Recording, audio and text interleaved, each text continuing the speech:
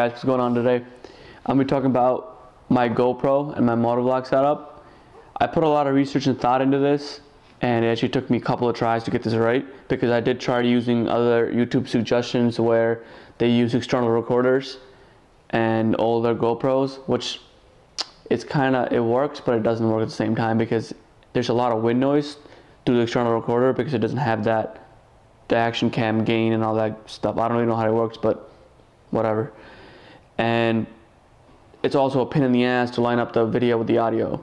So what I've been doing is I've been Craigslist surfing to find this. I ended up coming across this GoPro. It's a Hero 5 and I ended up picking up 200 bucks, which is an absolute steal.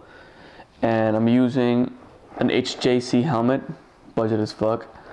To get the crispiest audio out of your best setup, I highly, highly, highly recommend this adapter and this Audio Technica mic because I did try to using those bufu ass $8 mics from Amazon, which are straight trash, and they, the wind noise is ridiculous on those. So definitely recommend those. The only downfall to this mic is the cable is stupid long, but as I as you can see, I managed to tuck this in. The lighting's probably shit in here and it's kind of uncomfortable, but it works.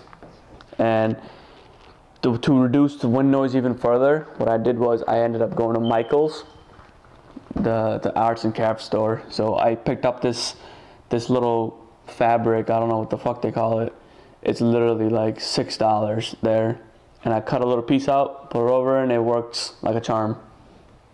Well, that's my setup. This whole setup was around three hundred fifty dollars. I hope that helps. So that's it for the vlog setup. Please hit the like button if you liked the video. Even if you didn't like the video, still hit the fucking like button. Hit the subscribe button and wait on those lit ass motor vlogs. Peace!